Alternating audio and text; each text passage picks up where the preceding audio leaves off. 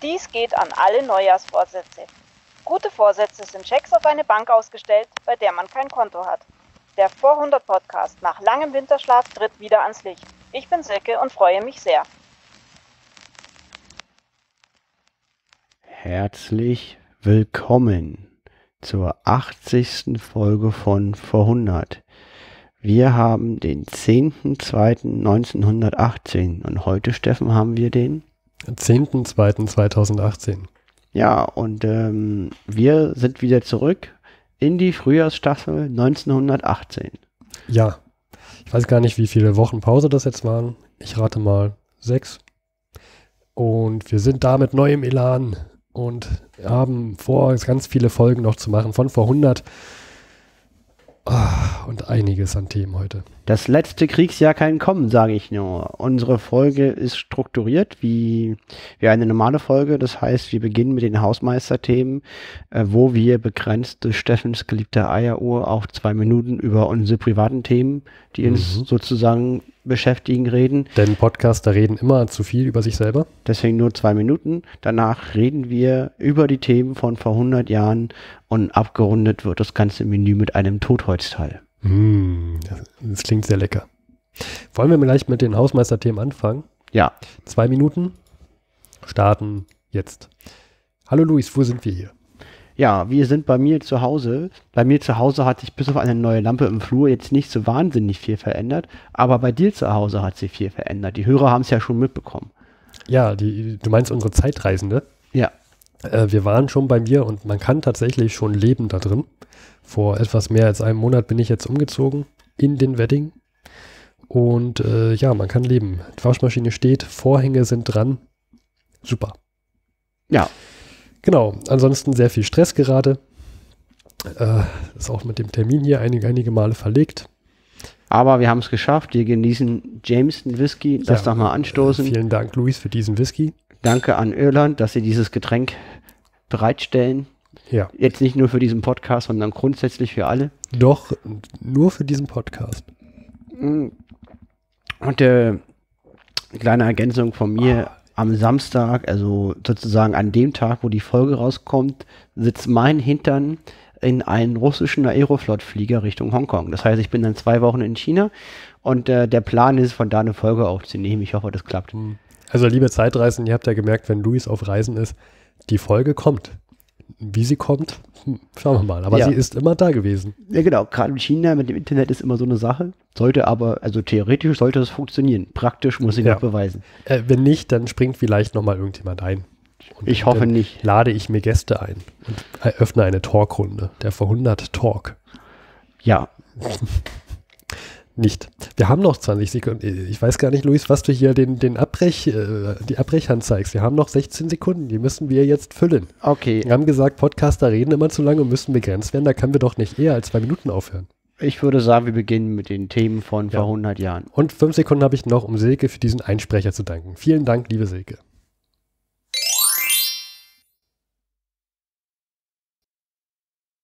So, damit kommen wir auch schon zu den Themen von vor 100 Jahren. Wir haben probiert, die letzten sechs Wochen in einige Kategorien einzusortieren.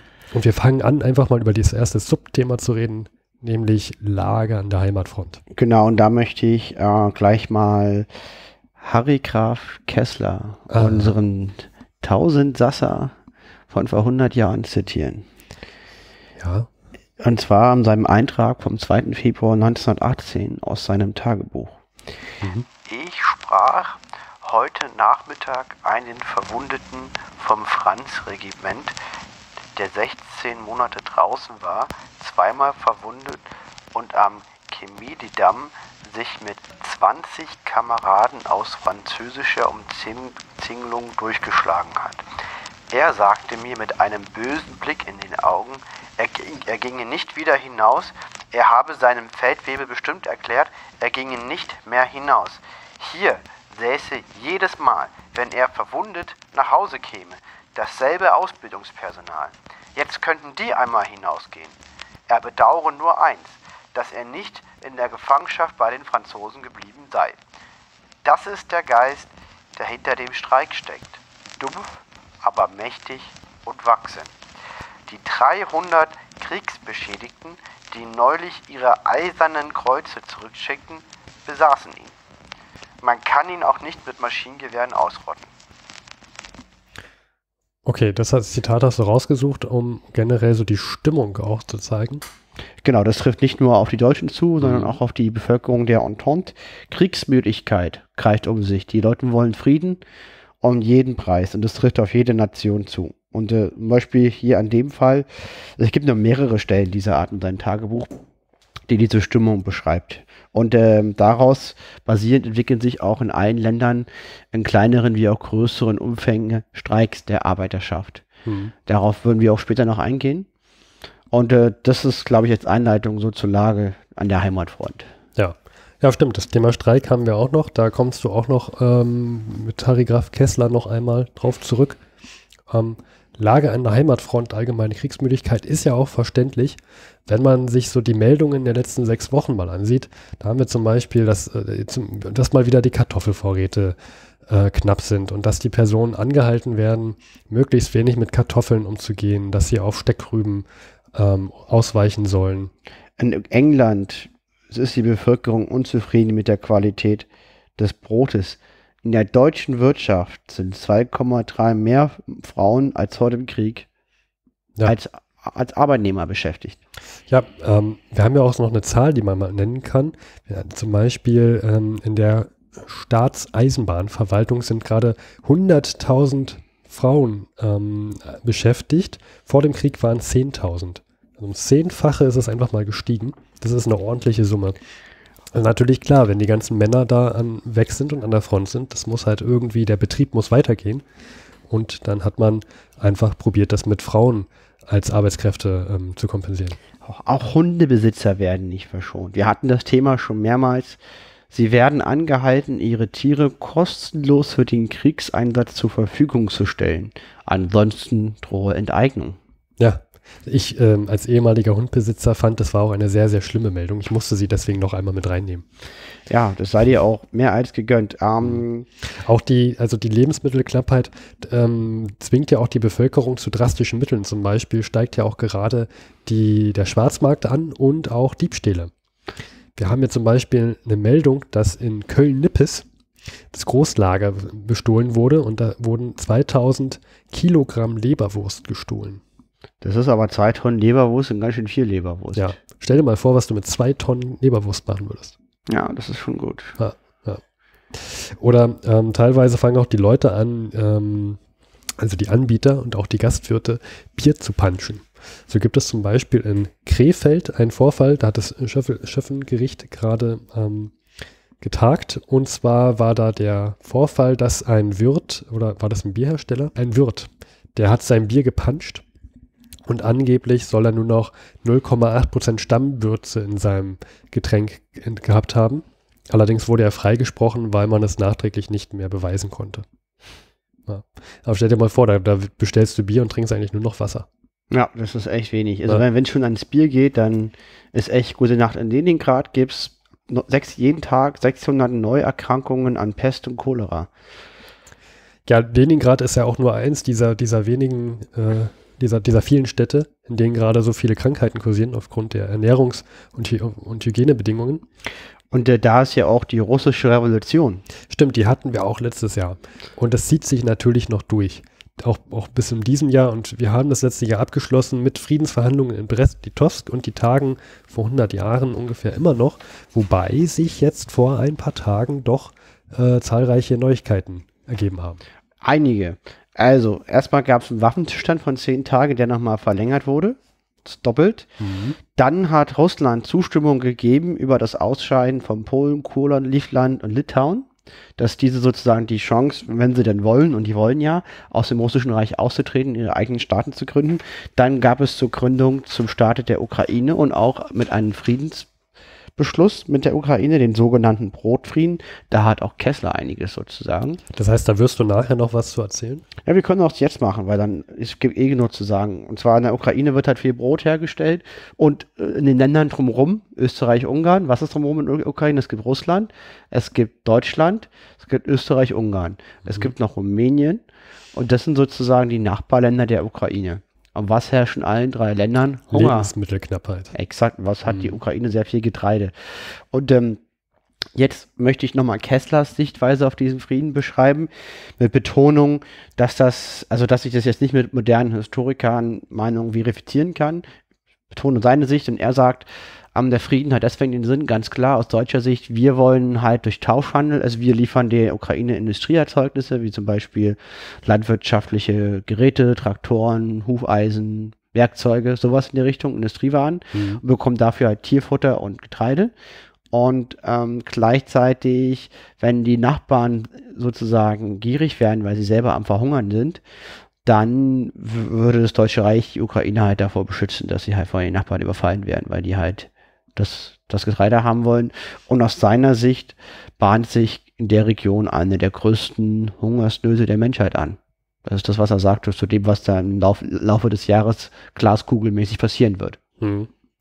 Ja, ist schon interessant. Vor allem, wir hatten gerade noch eine Meldung über Großbritannien, dass da sich die Bevölkerung beklagt, dass, dass, dass die Qualität des Brotes immer geringer wird, immer Mhm. schlechter wird, teilweise ja auch schon mit verdorbenen Lebensmitteln ähm, gemischt wird, das Brot. Und jetzt kommt dann natürlich die Ukraine, die sich, äh, die Nachbarland von Österreich-Ungarn im Deutschen Reich ist und verfügt über sehr viel Getreide. Da wird man schon mal neidisch wahrscheinlich oder befürchtet, ah, warum dort und nicht hier? Weiter, auch noch sehr interessant, ne, geht die Verstaatlichung voran. Also alle Banken wurden geschlossen, Ja. weil die Geldinstitute verstaatlicht werden. Das muss man sich mal heute vorstellen. Man schließt einfach alle Banken. Ne, komplett, die Wirtschaft würde kollabieren. Und sagt auch, also was Russland auch gerade macht, ist, dass die ganzen getätigten Staatsanleihen ungültig sind. Richtig, Schulden werden nicht mehr bezahlt. Weil hat ja der Zar beschlossen, wir sind jetzt in der Regierung, wir Ja. bezahlen unsere Schulden nicht mehr. Ja, das ist ein krasses Ding. Ja, und äh, die haben, die Russen haben gut Schulden. Ähm, das ist auch, und jetzt kommen wir wieder zu Kessler. Kessler ähm, hat ja mehrere äh, Taktiken, wie er sich verspricht. Also es, es gibt aus seiner Sicht drei Lösungen, wie man mit einem Frieden zu Frankreich kommen kann. Variante 1 ist halt eine erfolgreiche Offensive, klar. Variante 2 ist äh, diese Elsass-Lothringen-Republik-Action, dass du halt Elsass-Lothringen vom Reichsland in eine Republik umwandelst mit mehr Rechten und sozusagen da jetzt französische Gemut Bauchpin sitzt, dass sie Frieden wollen. Variante 3 ist, er beschreibt die Franzosen als sehr, sehr geizig ähm, und er sagt, man könnte den französischen Sparer überreden, mit Deutschland Frieden zu schließen, wenn man gemeinsam sozusagen die, die, die, die, die, die Anlagen oder das Vermögen dieser Sparer an Russland sichern würde. Zum Beispiel, das sind ja diese ganzen Anleihen, die die gezeichnet haben, die Sparer damals, vermute ich mal, über Versicherungen. Das wird damals nicht anders laufen wie heute. Und das ist ja dann alles verloren. Und ein möglicher Frieden mit Deutschland könnte halt dazu führen, dass, dass die Franzosen doch ihr Geld sehen. Das wäre zumindest ein Argument, finde ich, irgendwie naheliegend, zu sagen, hey, lasst doch gemeinsam Ja, ökonomische Kriegsführung. ja, ähm, das sind das. Also deswegen ist das auch wichtig. Und äh, dann haben wir noch das Argument mit Staat und Kirche, ne? Ja, und äh, was Russland auch gerade macht, ist nämlich Staat und Kirche voneinander zu trennen. Ähm, ist auch ein Thema typisch für die linke Bewegung, für die Bolschewiki, dass sie Staat und Kirche trennen wollten. Mhm. Ähm, Russland ja sehr orthodox, kat äh, orthodox-katholisch. Und jetzt fangen sie langsam an, das zu trennen. Ähm, nochmal, ich wollte noch erzählen zu Harry Graf Kessler, äh, liebe Zeitreisende, wenn ihr den 400 Podcast noch nicht so lange kennt, dann hört doch die letzte Folge. Da geht es nochmal um Harry Graf Kessler. Wer ist das? Was macht das? Und was ist der? Genau, den, den möchte ich nicht erwähnen. Ähm, übrigens, die Bolschewiki mit ihrer erfolgreichen Revolution 1917, das hat auch Auswirkungen und gerade auch dieser, dieser Waffenstillstand und auch dieser Separatfrieden mit, mit Ukraine hat auch Auswirkungen auf äh, Österreich, Ungarn und das Deutsche Reich, vor allem weil die Bevölkerung sieht, hey, ein Frieden ist ja auch möglich, auch mit und ohne Gebietsverluste. Und deshalb kommt es jetzt gerade so vor 100 Jahren zu, in den letzten sechs Wochen zumindest, vor 100 Jahren, zu zahlreichen Streiks. Mhm. Ähm, vor allem südlich von, von Wien und äh, generell in Österreich, Ungarn streikt gerade die Industriearbeitschaft gegen Krieg und Monarchie. Genau, beginnt in Österreich und weitet sich auf Deutschland, Raum Berlin aus. Mhm. Und ähm, das würde ich gleich nochmal auf den Harry Kessler-Teil verschieben wollen. Da würde ich nochmal genauer drüber berichten. Das ist sehr, sehr spannend und auch sehr wichtig. Also der Harry Graf Kessler-Teil diesmal mit einem Sonderteilstreik. Ja. ja. Ich bin gespannt. Gut. Ich habe hier noch das letzte Subthema. Mhm. Nämlich so die allgemeine Lage, wer mit wem und wer gegen wen. Mhm. Wollen wir nochmal so zusammenfassen, ähm, vor 100 Jahren, Erster Weltkrieg, wer ist da eigentlich so auf welcher Seite? Ähm, jetzt nicht jedes kleinste Land da aus Südamerika aufzählen, sondern wir haben ja da so zwei Machtpole, nämlich die Entente-Mächte und die Mittelmächte. Wer ist denn da so bei den Mittelmächten gerade im Bunde? Genau, Deutschland, Österreich, Ungarn, Bulgarien, das Osmanische Reich und ja, das, das, das sollte das jetzt an nennenswerten Nationen gewesen sein. Rum, ja. In, äh, ja. ja. Rumänien ist bei den Entente. Genau. Ja. ja. Das kommen wir auch schon bei, sind, sind wir auch schon bei den Entente-Mächten. Bald, bald, also Finnland wird auf jeden Fall unterstützt von den Mittelmächten, könnte man noch so sagen. Ja, die bekommen noch viel Unterstützung. Und ähm, Polen auch. Ja, wobei ja Polen ähm, auch also es bildet, also, bildet sich gerade. Ja, es gibt ja noch keinen Polen, aber es wird bei den Polen geben, dass es da in dem Machtblock angesiedelt mhm. und auch die neuen baltischen Staaten auch, die liegen unter deutschen mhm. Einfluss.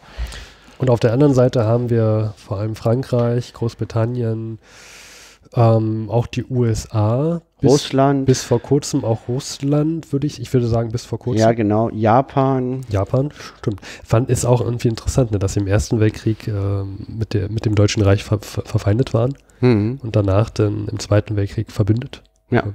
Äh, wir haben auch Italien. Genau, ist sehr auch wichtig. auf Seiten der Entente-Mächte. Ähm, Portugal ist auch im Krieg, dann viele südamerikanische ja. Kleinstaaten. Ich glaube, Kuba hatten wir auch mal, ne, dass das jetzt, dass sie jetzt im Krieg ja, gegen Deutschland ein, eingetreten sind. Ja, ja, so auch sowas wie Costa Rica. Also das sind ja. alles so, so Länder, die offiziell gesagt haben, dass sie, dass sie, ähm, also, dass sie sich auf Seiten der Entente befinden. Punkt ist, es gibt kaum noch neutrale Staaten. Das wären jetzt Holland und Schweiz, Schweden fallen mir jetzt spontan ein. Oh, ja. Und das war es eigentlich auch schon. Norwegen hat auch gesagt, dass sie zumindest bis Ende des Jahres noch neutral bleiben wollen. Genau. Und äh, interessant ist ja auch, wir hatten eine Meldung gesehen von der Schweiz, die ja offiziell neutral ist. Und da wurde, ich weiß nicht mehr wo, irgendwo in der Schweiz auf einem See, wurde ein deutsches Schiff beschossen. Das hatte, glaube ich, den Namen Wilhelm II. oder so. Mhm. Ähm, am Bodensee. Am Boden, ach, am Bodensee. Und das kam sogar häufiger vor. Ja. Und äh, wir beenden das mit dem strategischen Ausblick. Also was sind die entscheidenden Parameter oder Rahmenbedingungen jetzt für das Jahr 1918? Äh, wir hatten letztes Jahr den Kriegseintritt der USA. USA sehr, sehr mächtig, große Industrie und ähm, ein, eigentlich die wirtschaftlich stärkste Nation der Welt. Ähm, die haben aber eine saukleine Armee gehabt, weil der Kongress das politisch blockiert hat, nur 100.000 Mann. Und die brauchen jetzt eine Zeit, um diese amerikanische Konsumindustrie auf Militär Wesen umzustellen. Das dauert seine Zeit, die Leute müssen ausgebildet werden und auf langer Sicht sind die Entente-Mächte gnadenlos überlegen. Das ist auch allen Beteiligten klar, den Verantwortlichen der Entente und den Verantwortlichen der Mittelmächte. Die Mittelmächte wissen das, haben aber kurzfristig den Vorteil, dass halt Truppen an der Ostfront vermeintlich frei werden durch den Waffenstillstand mit Russland. Und jetzt ist der große Plan mit diesen, die, dadurch, dass dieser Zwei-Fronten-Krieg beendet ist, alles nach den Westen zu schmeißen, da eine Offensive zu gewinnen und damit den Krieg zu seinen Gunsten zu entscheiden. Und der Schaden ist auch nicht so völlig abwegig, weil Frankreich und Russland sind, äh, Frankreich und England sind genauso kriegsmüde wie alle anderen auch. Und dieser entscheidende Erfolg gegenüber Russland könnte sozusagen den letzten Push geben für die Mittelmächte, diesen Krieg zu, zu ihren Gunsten zu entscheiden. Italien ist auch sehr kriegsmüde. Mhm. Und das ist die entscheidende Frage. Es ist jetzt so ein Wettrennen gegen die, gegen die massive Industrie der USA, wer schneller ist. Ja, wir sind gespannt, wer gewinnen wird. Ja, und wir, das ist darauf läuft hinaus. Wir und kennen ja nur die Sicht vor 100 Jahren. Richtig. Und dann würde ich auch sagen, kommen wir zum Totholzteil. Ja, ich würde sagen, vorher wollen wir gleich noch ähm, einen Werbeteil haben. Ähm, der vor 100 Podcast muss sich ja auch finanzieren, aber mit Werbung aus dem Berliner Tageblatt heute vor 100 Jahren.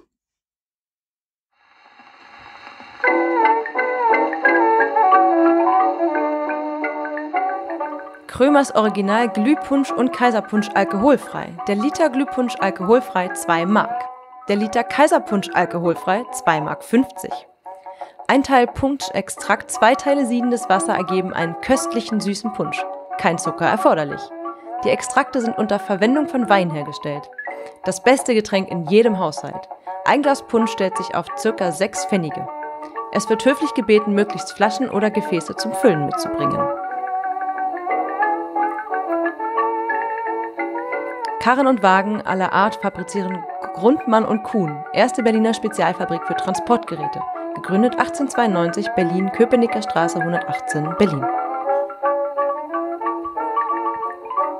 Durch meinen Kopf kann jeder Geschäftsmann, welcher gegen Rückporte Auskunft verlangt, reicht werden. Reklameentwurfsgenie Improvisator Paul Steinitz. Und nun kommen wir zum Sport des Sonntags. Unter den sieben Ligaspielen des heutigen Tages verdient das Derby des Fußballsports die Begegnung zwischen Hertha und Viktoria das größte Interesse. Die beiden führenden Vereine treffen sich auf dem Hertha-Platz am Gesundbrunnen. Weitere Kämpfe sind zwischen Berliner Sportverein gegen Union Oberschöneweide, Tennis Borussia gegen Alemannia, Tegel gegen Preußen, Berolina gegen Norden Nordwest, Union Potsdam gegen Favorit und Germania gegen den Verein für Bewegungsspiele Luckenwalde angesetzt. Die Spiele beginnen um 3 Uhr.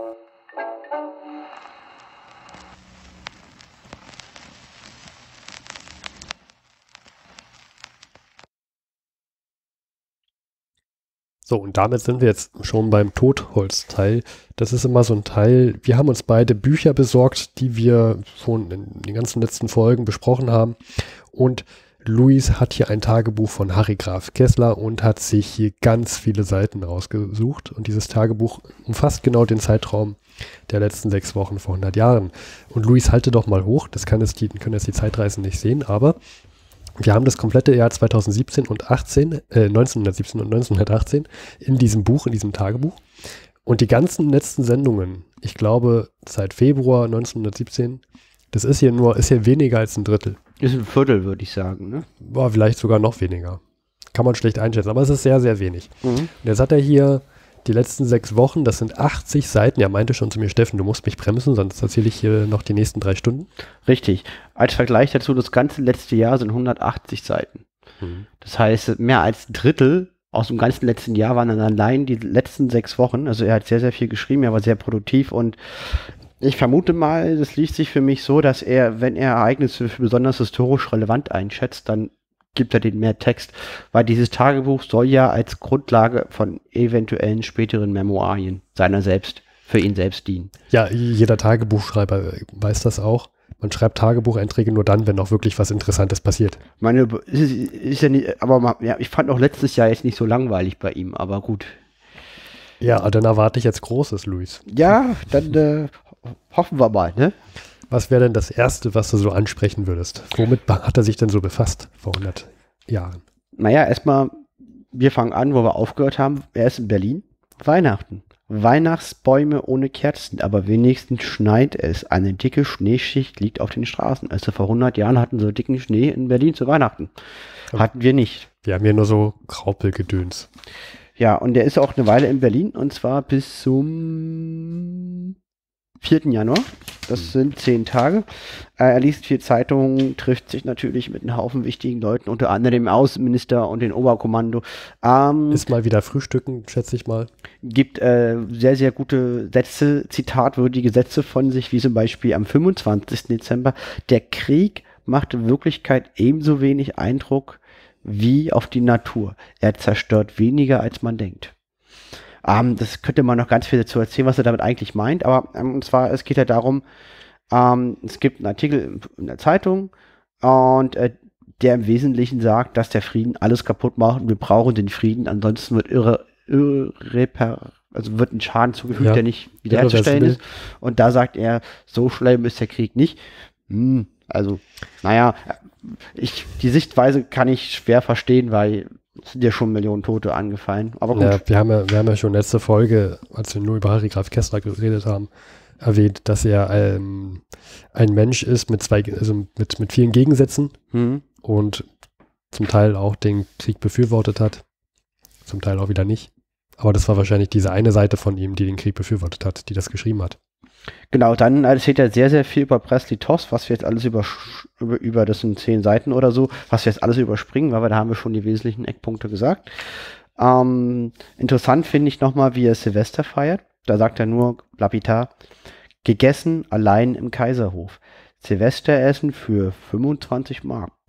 25 Mark, das viel ist ein Geld. teures Geld vor 100, äh, teure, ein teurer Preis vor 100 Ein Jahren. Drittel Monatsgehalt oder so. Also, Von einem Hafenarbeiter, ja. wollen wir mal sagen, was würde heute ein Hafenarbeiter verdienen? Zwei netto oder sowas? Heute, das kann ich überhaupt nicht einschätzen. Sagen wir mal, der verdient zwei netto. So, dann hat er seine Meinst du, dass äh, der zwei netto verdient? Ja, ich denke schon. Also wenn du da so ein Kranführer bist, braucht man schon ein paar Fähigkeiten. Vor allem, die haben vielleicht auch einen Tarifvertrag und sowas alles.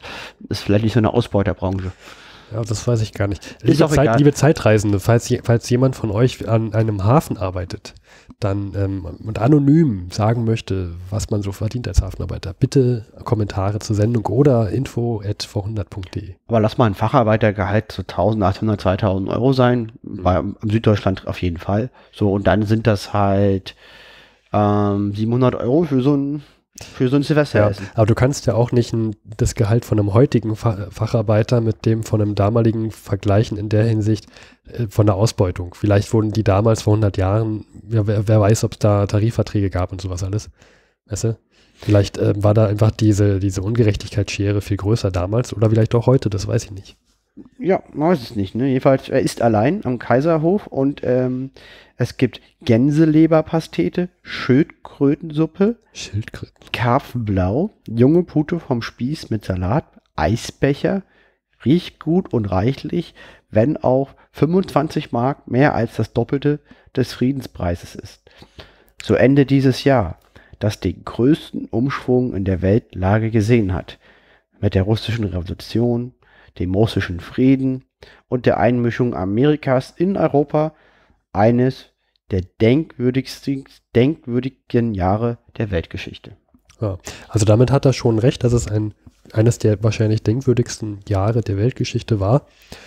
Ich finde das sehr interessant, dass wir so Meldungen haben wie, ähm, dass die Lebensmittelknappheit und dass die Leute noch nicht mal so was Extravagantes wie Kartoffeln essen sollen, sondern Steckrüben. Und der kommt ja an mit einer Schildkrötensuppe. Ja, also Der, äh, ein, ein, ein Harry Graf Kessler lebt gut, aber auch interessant, dass er alleine war. Ne? Also dass er alleine Silvester feiert. Ja, ich hätte jetzt erwartet, dass Harry Graf Kessler auf einer sehr extravaganten Künstlerfeier gewesen wäre. Aber gut, das ist, wenn es, wenn, wenn es für so einen der Alltag ist, dann ist es ja vielleicht auch mal für Frieden, wenn er seine Ruhe hat. Ja. Kann man sich auch gut vorstellen. Vielleicht halt auch eine sehr besinnliche Zeit damals gewesen. Also ich kann sagen, früher wollte ich nur reisen und seit vier Jahren reise ich eigentlich ständig und immer. Und jetzt bin ich sehr froh, wenn ich nicht reise. Und vielleicht ist der auch sehr froh, wenn er mal seine Ruhe hat und ihm keiner auf den Keks geht. Hm. Kann ich mir gut vorstellen. So, dann hat er noch einen interessanten Gedanken und zwar ähm, zum Frieden von, von Presley Tosk. Die Ergebnisse haben wir ja schon mitgeteilt.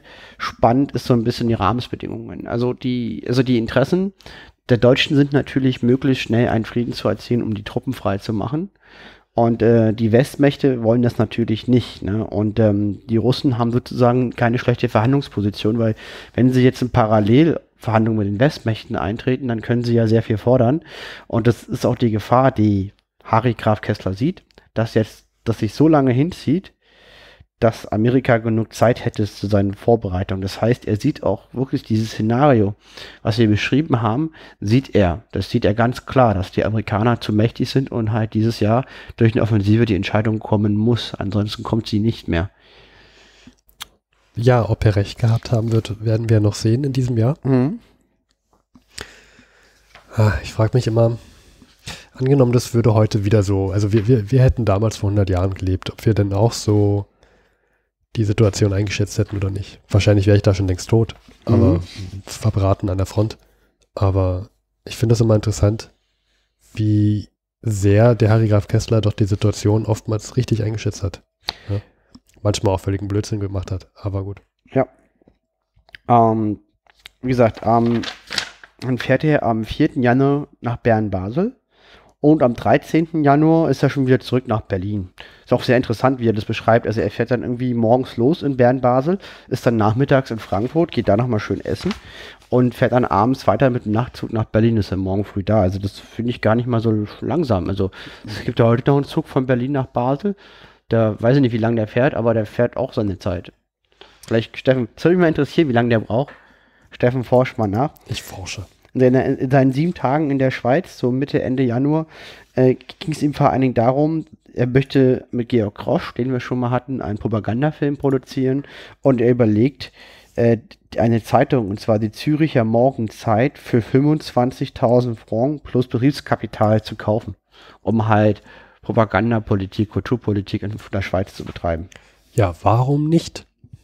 Einfach mal aufkaufen. Und hier ist nochmal ein ganz interessanter Satz. Ich möchte hier auch nochmal betonen, dass ich zitiere. Der Propagandakrieg wird durch das Eingreifen der Amerik Amerikaner heftiger und verzwickter. Sie haben mehr Geld. Wir haben die Gerissenheit unserer Juden, die, sie, die ich ansetze und unsere exaktere Arbeit. Interessante Aussage. Also er, ne? also er sagt halt, die Amerikaner haben ja Geld, aber wir haben unsere Juden in Deutschland und die sind viel schlauer als die Amerikaner. Plus, wir arbeiten besser. Ja, das ist interessant. Eine interessante Wortwahl, auch wenn man das mal mit, ähm, wenn man so die Zeit so noch nicht mal 20 Jahre später in Betracht zieht. Ich, ich habe hier übrigens gerade gesehen, es gibt hier unterschiedlichste Dauern von Berlin nach Basel. Das längste, was ich gerade gesehen habe, sind hier ähm, 12 Stunden 19. Mhm. Und das kürzeste ist so ähm, knapp sieben Stunden mit dem ICE von Berlin am Hauptbahnhof nach Basel. Ja. Soll ich dir gleich mal ein Ticket bestellen, Luis? Oder? Ich hätte an sich kein Problem mit, aber ähm, ja, da kommt da wieder keine Zeit. Ja. Uns noch nicht, gar nicht mal so, also der Sparpreis, du fährst ja also, gerne, nicht also die erster ich, Klasse. Wenn, ich da jetzt morgen hinfahre, habe ich gleich ganz viel Freizeit, denke ich mir. Ja. aber ähm, vielleicht könnten dich ja finanziell unsere Zeitreisende aus, äh, ausgleichen. Wir wissen ja, durch Podcasten wird man reich. ja, ja, genau. Nicht. Naja, so, ebenfalls. Ja. Mhm. Dann Jetzt hat er noch einen sehr, sehr spannenden Widerspruch. Und zwar, es geht wieder um die Verhandlungen vom Presley Tosk. Und zwar ähm, geht es halt darum, dass die Deutschen anbieten, Litauen, Riga, Kurland, das ist sozusagen eine Gegend in Lettland, und die Inseln, das sind so diese Inseln vor Island, da gibt es so große Inseln, eine davon heißt Ösel, so, die haben die Deutschen besetzt und da wird halt überlegt, okay, wie machen wir Frieden? Wir schick, schicken unsere Truppen da raus. Und das lehnt, also das schlägt halt die Verhandlung vor der deutschen Regierung. Und da meint äh, die deutsche oberste Heeresleitung, äh, das kann aus verwaltungstechnischen Gründen nicht passieren. Bumm.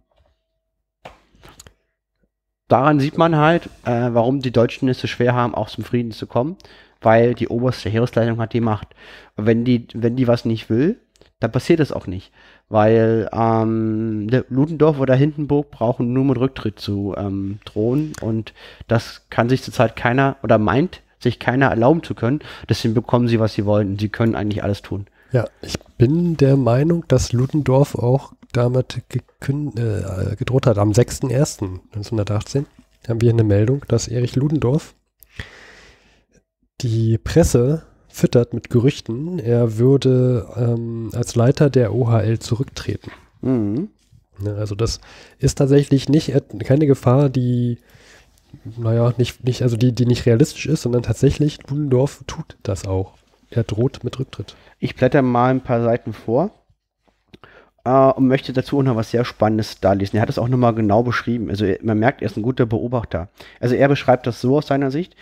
Der Fehler liegt darin, dass Ludendorff in auswärtigen Dingen nicht von einem sachkundigen, voll informierten und durch hervorragender Stellung Autorität genießenden Diplomaten, sondern durch den Chef seiner politischen Abteilung Bartenwerfer, einem General, oh. beraten wird. Da Ludendorff durch die Drohung mit seinem Rücktritt immer stärker sein muss als jeder Staatssekretär, so kommt es, dass unsere auswärtige Politik im Kriege um bis in den Frieden hinein gemacht wird, nicht von dem dazugestellten Staatssekretär, das wäre übrigens Kühlmann, auch nicht von Lüdendorff, der keine Zeit hat, sich intensiv mit auswärtiger Politik zu befassen, sondern letzten Endes von einem mittelmäßigen General, der ihn außerhalb des Hauptquartiers niemand kennt, der aber das Ohr Ludendorffs in auswärtigen Dingen ressortmäßig besitzt und Ludendorffs Meinung durch seinen täglichen Vortrag bildet.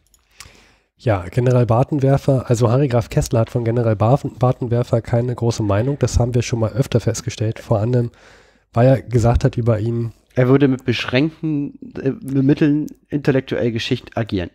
Nee, mit, mit, mit intellektuellen, mit beschränkten intellektuellen Mitteln agiert er geschickt. geschickt ja. Genau, der mag den gar nicht. Und ich meine, klar, wenn Ludendorff alles entscheidet und er kriegt jeden Morgen Bericht von General Bartenwerfer und dann ist das entscheidend, was der Typ ihm sagt. Und Ludendorff hat ja eigentlich keine Zeit dafür, macht es so nebenbei und sagt halt, nee, Insel, abziehen, nee.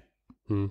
Ich glaube, das ist aber auch Frust von Harry Graf Kessler, weil er sich auch die ganze Zeit, also was ja ein großes Anliegen von ihm ist, ist ähm, der Frieden in, durch, durch Elsass-Lothringen, mhm. durch Gebiete Elsass-Lothrings, indem man da zum Beispiel eine Art ähm, Zwischenstaatenlösung findet, dass, ja. es, dass es weder dem Deutschen Reich noch Frankreich gehört, sondern nur so unter Verwaltung mhm. vom Deutschen Reich und so weiter. Und das wird ja anscheinend nicht gehört. Also er, er hat ja diesen Vorschlag öfter mal unterbreitet, aber anscheinend nimmt es keiner richtig ernst. Richtig. Da kann ich mir vorstellen, dass er auch groß dass er auch sehr frustriert ist, dass da nicht mal die oberste Jahreszeitung sagt, Mensch, ja, das ist doch de der Einfall und die Idee, das machen wir jetzt. Absolut. Ähm, ich finde aber seine Meinung zu kurzsichtig, weil du hast einen Manager, Ludendorff ist für mich so ein Manager. Und der hat einen Ressortleiter, Abteilungsleiter, der ihn, der General Bartleffe, der ihn jeden Morgen Bericht erstattet und er und, und der reagiert darauf. Und jetzt kann man natürlich die, diesen, diesen Ressortleiter die Verantwortung übertragen, dass seine Eingaben nicht so optimal sind. Oder man könnte halt den Manager beschuldigen, dass er halt nicht in der Lage ist zu erkennen, dass er weder Zeit noch Kompetenz hat, mhm. sozusagen diese Aufgabe zu erfüllen. Und es eigentlich seine Aufgabe wäre, proaktiv, so kenne ich das bei mir auf Arbeit, in, äh, sozusagen die, die diesen Aufgabengebiet abzugeben und jemand kompetent zu finden, der das für ihn tut. Und das macht Ludendorff nicht und deswegen ist er für mich der Urheber des Problems solche Aussagen würde ich in mein Louis Schuld-Tagebuch von vor 100 Jahren reinschreiben. Ähm, und da finde ich, dann macht sich das Kessler einfach, weil er doch immer Ludendorff und Hindenburg sehr, sehr gut bei wegkommen lässt und die doch immer sehr, also als sehr führungsstark und nicht kritisiert. Er kritisiert nur die, die direkt halt runter sind. Und ich finde halt, ähm, das, das ist dann auch wirkliche Führungsqualität, dann das zu erkennen und es abzugeben. Hm, ja, so eine interessante Sicht. Also ich finde es zu kurzsichtig. Das ist wie, wenn ich mich beschwere, dass auf eine Position jemand völlig ungeeignetes gesetzt wird. Wenn das offensichtlich klar ist, dass die Person diese Stelle nicht erfüllen kann von vorhinein, weil sie es noch nie vorher gemacht hat und die aber kritisch ist, sie wird trotzdem dafür benannt, dann ist nicht sie schuld, sondern die Person, die sie dahingesetzt hat, weil das ja klar ist. Und die hat entsprechend Gehalt und Position, um das zu erkennen. Wenn nicht, ist es ihr Problem. Also deine Meinung ist, Ludend, also nach diesen Aussagen müsste eigentlich Ludendorff das Problem erkennen und generell Bartenwerfer weg. Also Nein. Nein, überhaupt nicht. General Bartenwerfer ist vielleicht für seine eigentliche Aufgabe hervorragend geeignet, ist aber sozusagen als Außenminister fehl am Platz, weil dafür gibt es halt einen Außenminister und Ludendorff müsste erkennen, okay, ähm, ich habe keine Zeit und keine Kompetenz für diese Themen und müsste halt auch Kühlmann mehr vertrauen und mehr Aufgaben an Kühlmann abgeben und auf den, auf den Rat und auf die, und auf die Empfehlung von Kühlmann hören. Das wäre die Aufgabe von Ludendorff. Jetzt hast du, glaube ich, einen Namen noch reingebracht, Kühlmann. Willst du kurz erklären, wer das ist? Genau, das ist der, Zug, das ist der zuständige Staatssekretär. Es gab damals keine Minister, es gab einen Staatssekretär und es war der Staatssekretär für äußere Angelegenheiten, Kühlmann. Und das ist halt der, der eigentlich sozusagen da die Kompetenz haben sollte. Okay. Hat, das, hat er auch, nur er kriegt es halt nicht durchgesetzt, weil wenn Ludendorff sagt, ist nicht und übrigens, äh, falls ihr mir hier blöd kommt, ich drehe zurück, dann war es das, weil das kann gerade keiner erlauben. Ja, das, also, das finde ich auch ein starkes Stück von Ludendorff, auch dass, also dass, dass wir diese Meldung ja auch tatsächlich gefunden haben, dass er damit droht, zurückzutreten. Generell dieses, ich, ich übe ein Amt aus und wenn nicht das passiert, was mir gefällt, dann trete ich halt zurück. Ja, genau, weil ich halt weiß, dass das gerade nicht geht. Er erpresst halt sozusagen die ganze Nation. Ja. Ja, und äh, das ist halt die Sache, die wir halt haben. Das hat auch General von Falkenhayn, der Vorgänger, das war der, der Verdon sozusagen verbrochen hat, der hat ja auch gesagt, ähm, Leute, euch ist schon klar, wenn ihr mich hier absägt, äh, wenn ihr hinten dort einen Luden dort kriegt, auch die hören auf euch nicht mehr. Die machen ihre eigene Kiste. Und mhm. er hat auch recht gehabt. Ja, ähm, wir sind natürlich abbekommen. Äh, ich möchte nochmal einen Eintrag vom 18. Januar erwähnen. Und zwar, da ist es ein Bericht von, von einer Dame. Äh, genau, und zwar Frau von Carnap. Sagt mir jetzt nichts, aber sie beschreibt, wie eine Party aussieht von vor 100 Jahren. Ich zitiere. Und zwar, die kleine Schwabachs waren dagegen beseligt, dass in diesem Winter wieder getanzt wurde. Natürlich nicht zu wirklicher Musik, wie sie hinzufügten, sondern ein jeder bringt seine Grammophonplatten mit, der Teppich wird ausgeräumt und dann wird losgetanzt. Jeder bringt seine Grammophonplatten mit, das ist ja auch super. Ich finde aber cool, dass es sowas gab. Also Ja. wie heute halt auch. Die treffen sich dann irgendwie da, die Damen, offensichtlich, und schleppen alle ihre Platten mit. Die haben ja auch nur wenig Laufzeit. Und dann stecken die die Platten in den Abspielgrammophon. Gra- Ins Grammophon. Ja. Und äh, dann geht die Luzi ab, sage ich mal. Das finde ich gut. Ja. Auch, auch schön, dass sowas mal aufgeschrieben wurde. Hm, genau. Und jetzt beginnt das große Thema. 19. Januar, Generalstreik in Österreich. Jetzt kommt der Streik. Ja. Und was interessant ist, also er berichtet, die Zeitungen in Wien sind heute nicht erschienen, in Berlin wird darüber nicht geschrieben. Das Okay. klingt ja gar nicht gut. Also wenn du hörst, da ist ein Streik Ja, und äh, in Berlin sagen die gar nichts dazu und in Österreich erscheinen gar nicht erst die Zeitung. Uiuiuiui. das, ist- das ist schon mal ein schlechtes Zeichen. Und ähm, deswegen haben wir auch gesagt, also bis zum Ende des Jahres sind es ja noch ähm, fast 600, 700 Seiten. Und was sehr interessant ist, Graf, also Harry Graf Kessler, diesen Streik, der auch auf Deutschland sich bald aus, ausweitet, bezeichnet er instinktiv sofort als das Ereignis. Die Menschheit wird nie wieder das ein, was sie jetzt war. Jetzt kommt die Revolution der Revolution. Also so merkt man das. Und, und, und seine, seine Einträge werden dreimal so lang wie vorher, weil er diese Revolution für doch arg wichtig hält. Ne? Ist ja auch verständlich, denn genau vor einem Jahr und 100 Jahren, also aus seiner Sicht vor einem Jahr, gab es einen Streik in Petrograd. Mhm. Und das führte zur russischen Revolution. Das führte zum Sturz der Monarchie, zum Sturz des Zaren, besser gesagt. Und äh, das, ich meine, in Österreich-Ungarn haben wir eine Monarchie und im Deutschen Reich haben wir auch einen Kaiser Wilhelm, der da auf dem Thron sitzt. Mhm. Und klar, also er könnte ja, er könnte ja Rückschlüsse führen, dass auch dort Streiks zu einem Fall der Monarchie führen. Also, es hat, also er hat ja Russ, im Russischen Reich, im. Zarenreich auch angefangen damit. Also er unterschätzt das auf keinen Fall. Mhm. Dann ist auch noch interessant, ähm, es gibt sehr viele Veranstaltungen zum Thema Finnland und äh, Baltikum. Ähm, Was gibt es. Veranstaltungen? Veranstaltungen zum Thema Finnland und Baltikum.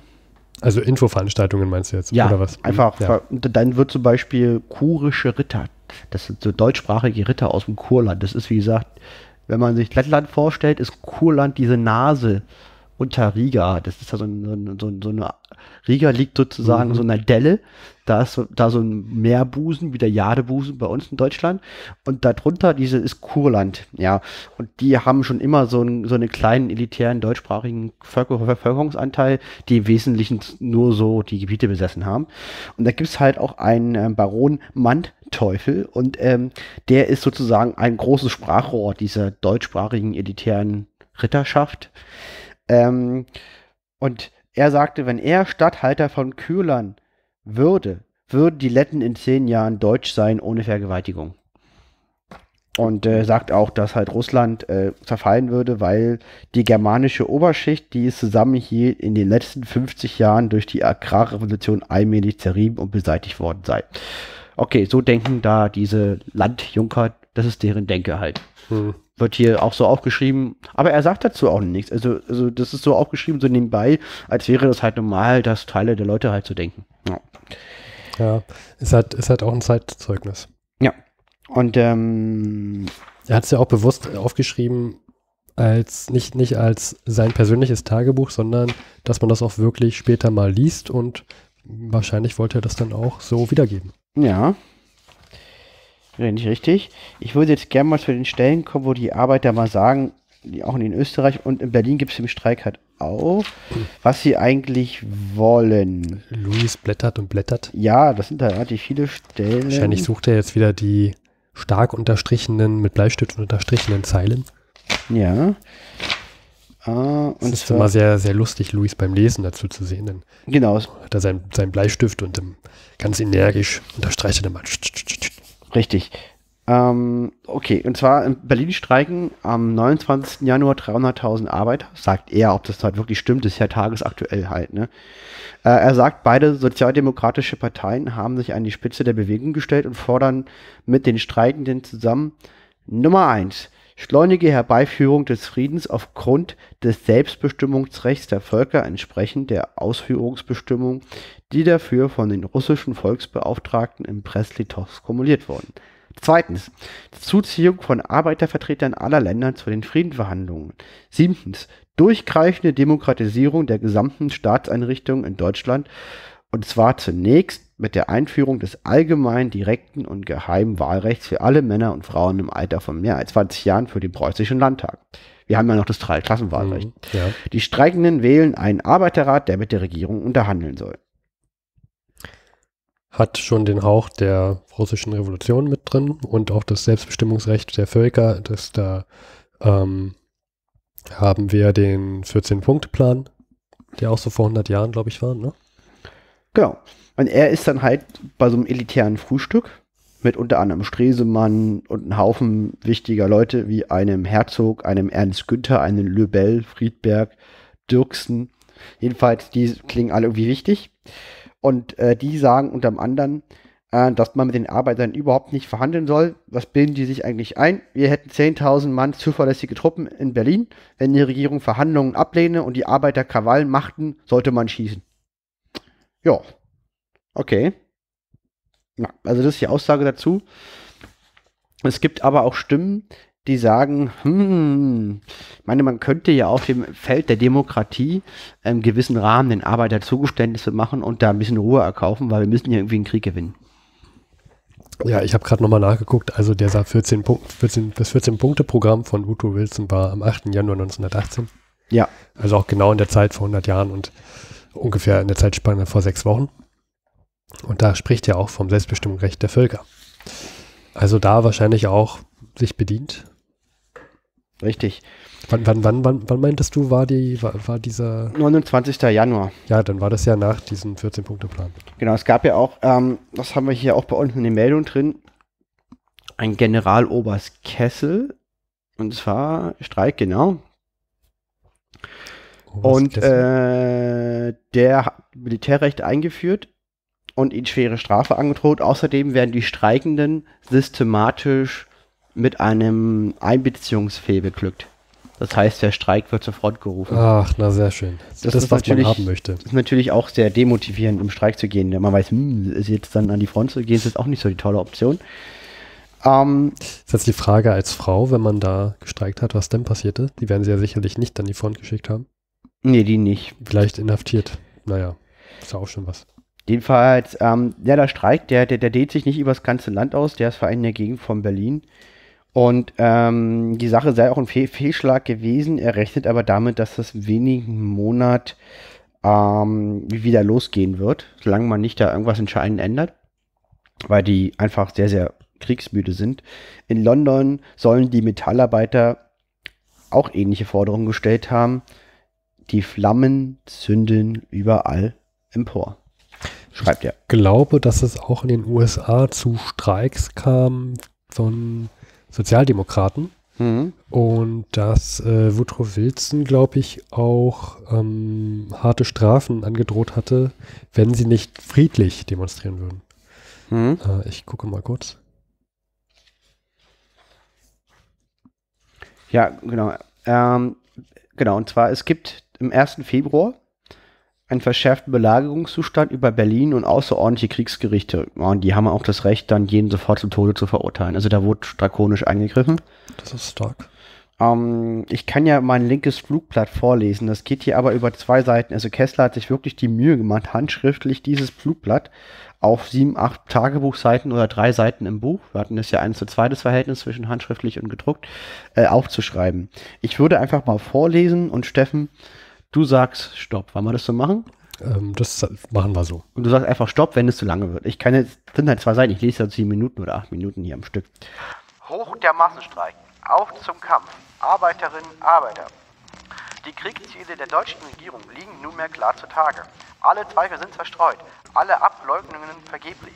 Bei den Verhandlungen in Brest-Litovsk musste der deutsche Militarismus endlich die Maske lüften. Raub fremder Länder, Unterjochung fremder Völker, gewaltsame Annexion und die Herrschaft des deutschen Siebels in der Welt. Das sind die Kriegsziele der deutschen Regierung. Sie hat sich in Brest-Litovsk geweigert, die deutschen Truppen aus den besetzten Gebieten zurückzuziehen. Nicht genug, dass Polen, Litauen, Estland, Livland jetzt von den deutschen Machthabern erdrosselt und ausgeplündert werden. Die dortige Bevölkerung soll auch nach Friedensschluss durch deutsche Kanonen und deutsche Maschinengewehre verhindert werden, eine freie Entscheidung über, ihre, über ihr künftiges politisches Schicksal und ihre Staatszugehörigkeit zu treffen. Und um die Brutalität durch Schadenlosigkeit noch zu überbieten, verlangten die deutschen Vertreter in Brest-Litov, dass der Wille der von Deutschland in den besetzten Gebieten ernannten Beamten dieser elenden Drahtpuppen in der Hand der Berliner Machthabe bei der Entscheidung der Frage über die Zukunft dieser Ländereien als Willensausdruck der betreffenden Nation gelten solle. So sieht das Selbstbestimmungsrecht der Völker aus, das die deutsche Regierung sich feierlich verpflichtete anzuerkennen und zu respektieren. Und so der Friede ohne gewaltsame Annexion, den sie vorschützen zu wollen und anzunehmen. Okay, ja, ich denke, das reicht erstmal. Und so geht es eigentlich ziemlich lang. Aber ich merke auch immer, dass ich eher so linkspolitisch eingestellt bin, weil ich finde das meiste eigentlich gar nicht mal so dumm, sondern da steckt einiges Wahres dran. Auch mit dem, was man weiß. Ja, also das ist eigentlich alles wahr. Weil Ich, äh, ich, es, es kommt mir vielleicht so vor, weil du die, den Ausgang der Geschichte schon kennst. ja, Und dann weißt, ähm, wenn sich das nicht ändert, dann wird es halt auch, auch zum Beispiel was, was ähm, Harry Graf Kessler sagte zu den Streiks. Wenn sich die Situation nicht ändert, dann wird es halt wieder zu Streikausbrüchen kommen. mhm. Und das sind ja das, da sagen wir gleich, oh, ah, er hatte recht, aber es war halt Zufall, dass er recht hatte. Er hätte auch was ganz anderes behaupten können, was gar nicht eintritt. Und das ist halt, manches erscheint dann sehr sinnvoll und sehr weise, weil man einfach weiß, wie die Geschichte ausgeht. Und dann denkt man sich, ja, Mensch, das war ein weiser Mann, der, ja. der hat das halt vorher gesehen oder, oder das wurde halt behauptet und das stimmt ja alles und das ist alles richtig, Gut. weil uns die Geschichte das gezeigt hat. Aber vor allen Dingen, was bringt es dir, das zu wissen, wenn du jetzt weißt, okay, dein, deine drei Söhne sind im Feld, ja, und äh, du machst jetzt hier den großen Massenstreik, dann bist du auch irgendwie der Verräter, ne? Und davon sind vielleicht schon zwei gestorben. Und das ist dann auch irgendwie nicht so einfach, die Entscheidung, weil wofür sind die denn gestorben, ja? Ja, Also, das, das ist, das zu wissen, macht dir das Leben vielleicht nur schwerer und bringt dir keinen Meter weiter. Ja. Es ist auch eine verzwickte Lage, ne? Hm? Man weiß auch nicht so richtig, wie man damit umgehen soll. Ja. Ich habe äh, in der, äh, in der Zeit, in der du gelesen hast, nochmal nachgeguckt. Es war tatsächlich so, dass auch am 29.12.1917 Woodrow Wilson angekündigt hat, gegen sozialistische Aggregatoren hart vorzugehen, wenn sie sich nicht friedlich weiter, also wenn sie nicht friedlich weiter demonstrieren wollen. Also auch in, in den USA haben wir tatsächlich sozialistische, ähm, Hm. naja, Streiks, nicht Demonstrationen, sagen wir so. Hm. Ja, also hier, das können jetzt nur die, die Podcaster leider nicht sehen. So sieht sein Tagebuch aus. Hier steht das nochmal nieder mit dem Brot, nieder mit dem Kriege. Ah ja. Hat diese ganze Schrift, das sind, also hat er alles abgeschrieben. Das sind tatsächlich nieder mit dem Boot, nieder mit dem Friede. Ähm, das ist auf den ersten Blick das einzig Lesbare gewesen, weil das auch sehr groß geschrieben hat. Aber daran sieht man halt auch, dass, ähm, wie wichtig er das, ähm, wie wichtig er das einfach hält, dieses Ganze, dass, dass das alles so, so feinsäuberlich abschreibt. Er hätte Mhm. sich die Zeit sonst Mhm. nicht genommen, wenn er nicht denken würde, das ist jetzt wichtig, was hier gerade passiert. Ja klar, ein Harry Graf Kessler braucht zum Tagebuchschreiben ja auch Zeit. Und ein Harry Graf Kessler hat, glaube ich, nicht so viel Zeit. Durch das ganze Rumreisen kann er vielleicht im Zug schreiben. Hm? Aber sonst, glaube ich, wird ein Harry Graf Kessler auch sehr, sehr beschäftigt gewesen sein, unter anderem auch mit Schildkrötensuppe essen. Ja, auf jeden Fall. 4. Februar 1918 in der Nacht nach Berlin zurück. Der Streik ist vorüber. Die Regierung hat mit den Arbeitern nicht verhandelt. Bam, bam, bam. Bam, bam, bam. Und jetzt gucken wir nochmal, ähm, was wir hier noch Schönes haben. Ähm, hier auch noch ein, ich würde sagen, ich lese noch eine abschließende Stelle. Ich würde noch zwei abschließende Stellen vorlesen. Oh Gott, das ist noch so viel. Guck mal mal. Ich lese mal noch eine schöne Stelle vor, die auch wieder die Stimmung sehr gut beschreibt. Wäre das okay? Äh, ja, äh, falls, falls du dir jetzt vorkommst und sagst, also das ist jetzt so viel, wir haben ja gar nicht die Zeit. Doch, wir haben die Zeit, das ist unser Podcast. Jeder, der sich das nicht mehr anhören will, kann einfach zum nächsten Kapitel weiterspulen. Stimmt, wir machen die Kapitelmarken. Ja. Aber das sind wirklich noch schöne Stellen. Zum Beispiel hier ein, ein, eine Geschichte, wie er einen Verwundeten traf und ihm seine Lebensgeschichte erzählt hat. Das stimmt, die hast du mir vorhin schon vorgelesen, die ist sehr schön. Ein Verwundeter von einem Garderegiment gab mir heute folgenden Lebenslauf. 1914, freiwillig, fünfmal verwundet. Bei der zweiten Verwundung, weil er sich eigenmächtig in einen verwundeten Zug gesetzt und nach Hause gefahren sei, wegen Entfernung aus der Front degradiert und zu mehreren Monaten Gefängnissen verurteilt. Zu arbeiten irgendwo an der Wasserkant geschickt, wo er schlimmer als ein Vieh behandelt worden sei. Die Soldaten hätten sich um ein Stück Brot gegenseitig totgeschlagen. Dann wieder hinaus zum Regiment, wieder verwundet und noch einmal verwundet. Schließlich bei der fünften Verwundung ins Lazarett nach Hause ohne eisernes Kreuz. Eine verstockte, dumpfe, grimmige Verbitterung sprach aus dem breiten Bauerngesicht. Alles das fließt hinein in den gemeinsamen Topf. Wen dazu noch der Hummer kommt, niemand kann berechnen, was dann wird. Ja, das wird sicherlich das Schicksal von vielen gewesen sein.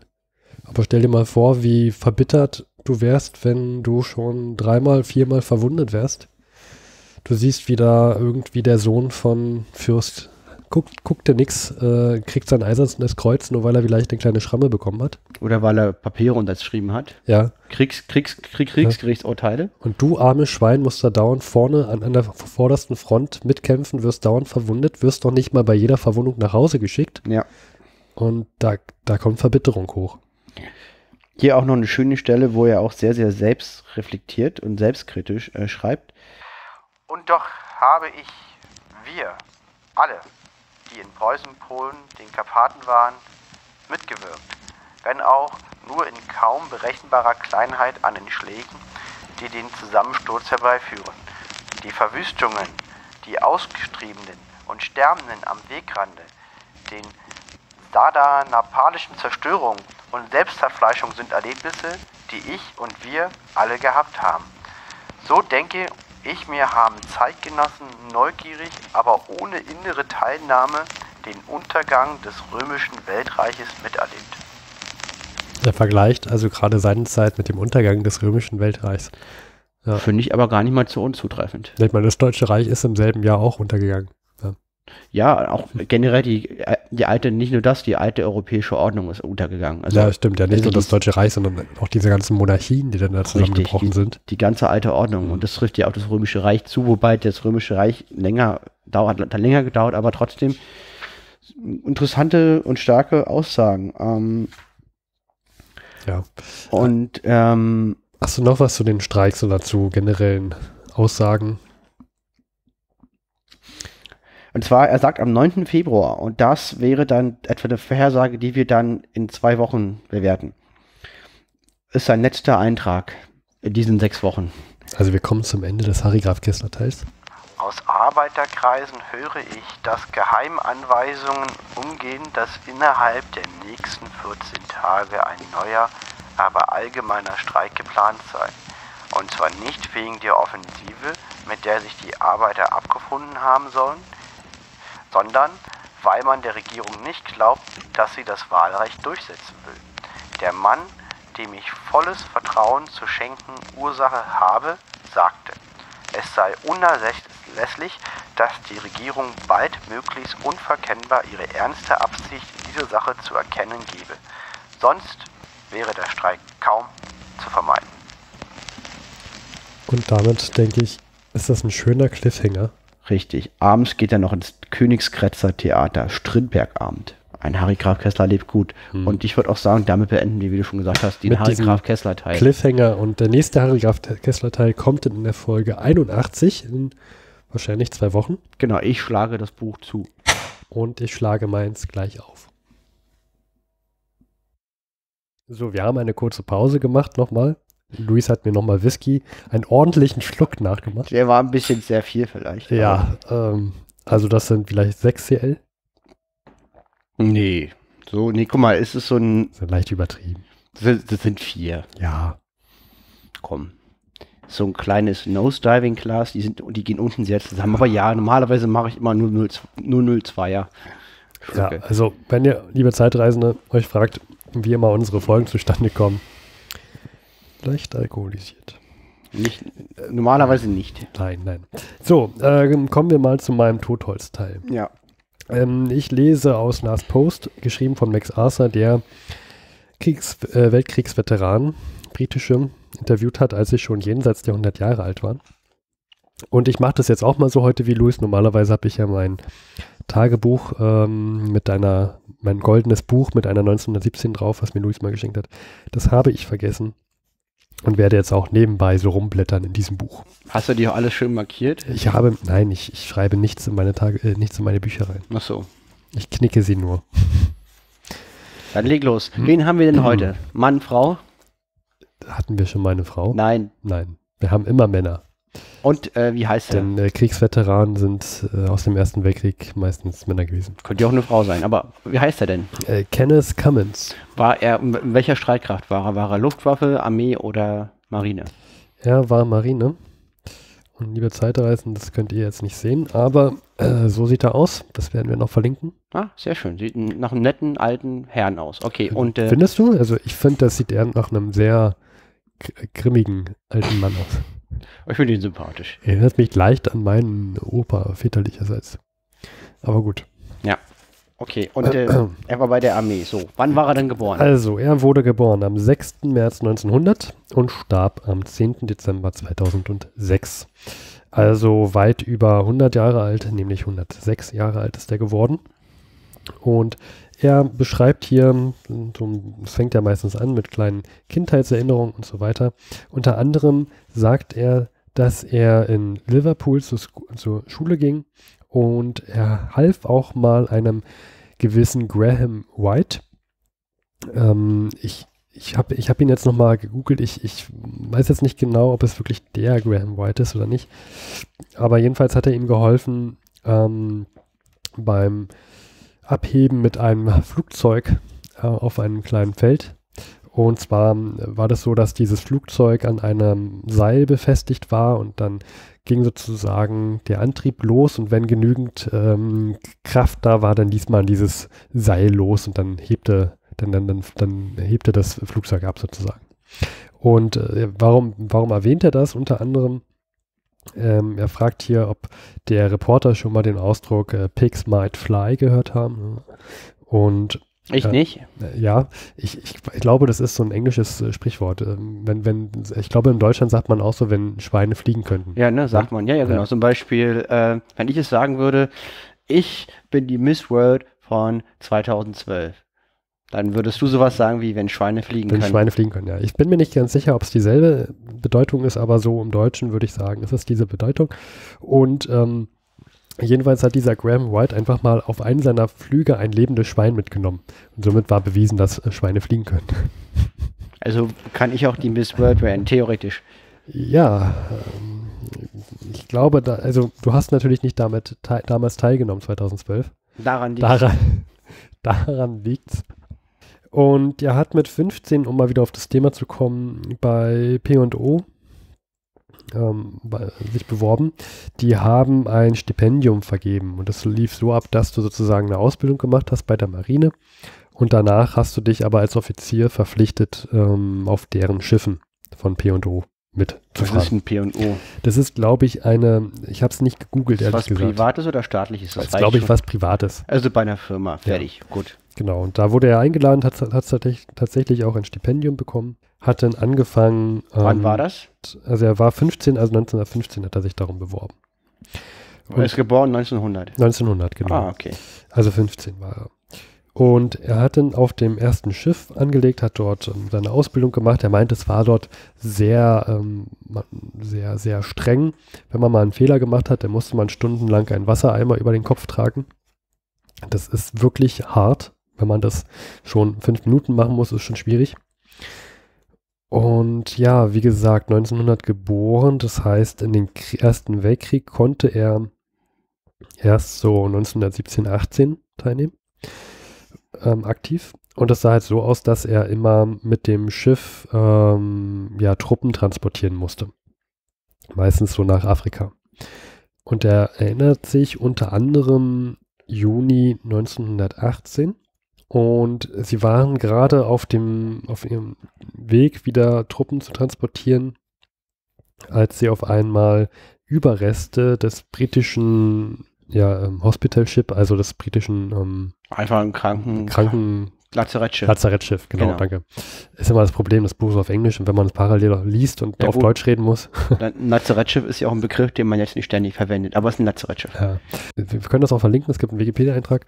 Er beschreibt, dass er, dass sie durch die Überreste dieser, dieses gesunkenen Schiffes durchfahren mussten. Hm. Und ähm, Luis, die ein Lazarettschiff, ist damals aus Metall gewesen und gesunken. Was für Überreste könnten das gewesen sein? Menschen. Menschen, genau. Und er beschreibt, es waren sehr viele Menschen. Ja, es war ein Lazarettschiff, also auch Frauen und Doktoren, Schwestern, also so etwas, die dann da ähm, die toten Körper schwammen da überall rum und er sagt, die waren halt ausgedunsen da, von der Sonne auf, dadurch, dass sie da schon tagelang drin waren. Und seine Reaktion auf das Ereignis war, dass er sie über die Reling gekotzt hat. Und ähm, sie konnten nicht anhalten und die Leichen aufsammeln. Sie mussten weiterfahren, dadurch, dass sie ein äh, Kriegsschiff waren, hatten sie den Befehl, nicht anzuhalten. Hm. Man musste weiterfahren, das war Befehl. Hm. Und das war auch ein schwieriges Ereignis für, sie, für ihn. Da muss er auch manchmal noch wieder dran zurückdenken. Und das stelle ich mir schon hart vor, wenn du so als junger Mensch, ähm, du bist ja so, also 1918 bist du 18. Äh, Quatsch, ich sagte im Juni, doch Juni 1918, genau, da war er schon 18. Hast noch nicht viel gesehen von dem Krieg. Bist da relativ glücklich gewesen auf dem Schiffen fernab der Front und musst dann da aber durch ganz viele Leichen da durchschwimmen, kannst noch nicht mal anhalten. Stelle ich mir sehr hart vor und sehr schwierig. Und beschreibt er noch ungefähr seinen, seinen normalen Alltag. Er war gezwungen, eine Waffe zu tragen während des Ersten Weltkrieges und meinte aber auch, mit 18 hat man noch nicht wirklich viel Verantwortung. Man, Verantwortung. man kann das alles sehr leicht nehmen, man muss einfach nur die Befehle ausführen. Große Einsätze hatten sie nicht während des Ersten Weltkrieges in dem Sinne von, dass sie sich, dass da ein U-Boot auftauchte oder sie beschossen wurden oder so. Hm. Das ähm, tatsächlich nicht, da hatten sie Glück gehabt. Hm. Ähm, da äh, gab es durchaus andere Schiffe, die ähm, da weniger Glück hatten. Unter anderem beschreibt er auch das Schiff ähm, HMS äh, Aboukir, das relativ am Anfang, nämlich schon 1914, sank Hm. durch ein durch Beschuss eines ähm, U-Boots und zwar des U9. Und interessant Aboukir heißt das, ne? Aboukir. Na, benannt nach der Schlacht vor Ägypten, wo halt die britische Flotte die, die Flotte von Napoleon nee, vor Ägypten versenkt hat. Äh, das weiß ich nicht, aber Abukir ist auf jeden Fall ein ägyptischer Ort. Mhm. Ja. Das wusste ich jetzt zum Beispiel nicht. Ähm, genau, und das Boot sank. Und ähm, zwei Schiffe wollten zur Rettung herbeinahen und wurden vom selben U-Boot auch beschossen. Mhm. Ähm, davon hat er damals gehört, 1914, und hat sich aber trotzdem gemeldet, auf einem Schiff anzulegen. Ne? Mhm. Ist ähm, Mutig. auch mutig, aber man kann auch sagen, wie leicht war es auch, also als junger Mensch, wenn du da vielleicht beim Krieg auch teilnehmen wolltest, ob du nun an der Front stirbst oder auf dem Wasser, also der Tod ist beim Krieg ja immer dabei. Richtig, die Frage Ja. ist, was ist sicherer? Was ist sicherer oder ja, nicht, nicht nur was ist sicherer, sondern was liegt dir einfach mehr. Er wird ja nicht einfach so zur Marine gegangen sein, sondern sicherlich wird ihm irgendwie die Schifffahrt ähm, begeistert haben. Und dafür, dafür wird er sich auch irgendwie interessiert haben. Er beschreibt dann auch, dass, also bis, bis so ungefähr die 60er Jahre fand er die Schifffahrt auch sehr schön. Hm? Und danach ähm, meinte er, ist, ist die Schifffahrt nicht mehr dasselbe gewesen wie damals noch in der guten alten Zeit. Er ist auch ein bisschen griesgrämig und, und zukunftsverdrossen geworden anscheinend. Da kann ich ja später nochmal zukommen. Und ähm, er springt so von Anekdote zu Anekdote, unter anderem auch, dass damals ähm, Tod, also sie hatten mehrere Kategorien von Tod. Tod war nicht gleich Tod. Denn ähm, er war zum Beispiel unterwegs irgendwo in der Stadt, als er mal Landurlaub hatte und hatte einen Freund gesehen, der angeblich gestorben ist auf dem Schiff Otranto. Und das war allerdings eine Falschmeldung anscheinend, wie sich herausstellte, und hat den halt diesen Freund getroffen in der Straße und hat ihn angestoppt und Mensch, ich dachte, du wärst tot. Äh, schön dich zu sehen. Und so eine Dinge gibt es halt auch, ne, dass du dachtest, ähm, nur weil jemand tot ist, muss es nicht halt heißen, dass er wirklich tot ist. Es kann auch einfach nur vermisst sein und vielleicht siehst du ihn ja sofort auf dem Weg zur nächsten Kneipe, wenn du wieder mal da bist. Also ein glücklicher Zufall. Aber auch interessant, sowas mal zu hören. Ja. Ja. Genau. Und dann ist tatsächlich auch schon der Erste Weltkrieg aus seiner Erzählung vorbei. Ich habe ihn trotzdem mal rausgegraben, weil er deutlich mehr erzählt hat zu der Zeit, die danach kam. Ja, auf jeden Fall. Bin gespannt, was Ähm. da jetzt noch kommt, weil das finde ich auch mal sehr interessant. Also der hat Mhm. ja jetzt sozusagen, also er hat eine Ausbildung zum Matrosen gemacht und ist mit 18 am Ende des Ersten Weltkrieges See, Seefahrer. Und jetzt bin ich mal gespannt, was er aus seinem Leben gemacht hat. Also es fing dann damit an, dass kurz nach dem Ersten Weltkrieg sie Truppen transportiert haben. Unter anderem australische Truppen. Die hat er wieder zurück nach Hause gebracht, nach Australien. Und die waren, er beschreibt hier, sie waren ähm, äh, voll, also voller Leben. Mhm. Sie waren sehr enthusiastisch und sehr glücklich, dadurch, dass sie endlich wieder nach Hause fahren können. Und jetzt gab es aber ein Problem, und zwar ähm, brach auf dem, auf dem Schiff kurz vor Australien brach eine Krankheit aus. Ähm, ich, ich glaube, Flu auf Englisch ist, glaube ich, Durchfall, ne? Nee, das ist, ähm, das war doch ganz berühmt 1918, 1919, diese riesige Grippeepidemie. Die, Die hat spanische Millionen, Grippe, meinst du? genau, die hat Millionen Opfer gefordert. Ich würde wetten, dass es das war. Translation, ich muss es mal kurz live nachschauen. Flu ist Grippe. Dann Erkältung. Die, die, okay, dann, wenn du das sagst, dann ich, ich komme hier mit deiner Suche nicht ganz klar. Ja, aber das ist eine Erkältung. Gut. Und unsere Theorie ist, ohne die Details zu wissen, aber das war zumindest die Zeit, wo diese riesige Grippeepidemie durch die Welt ging. Und es könnte damit Zusammenhang geben. Ja, die spanische Grippe war tatsächlich nach dem Ersten Weltkrieg. Ähm, da er aber öfter mal von Flu redet, weiß ich jetzt nicht, ob es wirklich die war. Also er redet öfter mal vom Flu. Ja, jedenfalls, da, alles, was das, damals gab es da diese spanische Grippe. Jedenfalls, Gut. Hm? Ja, jedenfalls ähm, ist ja auch egal, ob es jetzt die spanische war oder, oder es, hm, das Ding war, es war halt irgendeine. Und das führte eigentlich dazu, dass du nicht Quarantäne. Genau, das Schiff darf nicht anlegen am Hafen, es muss unter Quarantäne, beziehungsweise wenn es anlegen darf, dann müssen die Männer zwingend in Quarantäne vor Ort. Und diese ganzen Australier, die waren aber so enthusiastisch und die wollten unbedingt nach Hause, dass sie kurz vorm Hafen einfach übers, über Bord gesprungen sind. Und der, er schreibt hier, der, der Hafen kurz vor Sydney war voller Haie, das hat sie aber alle nicht interessiert. Und sie sind einfach zum Hafen geschwommen.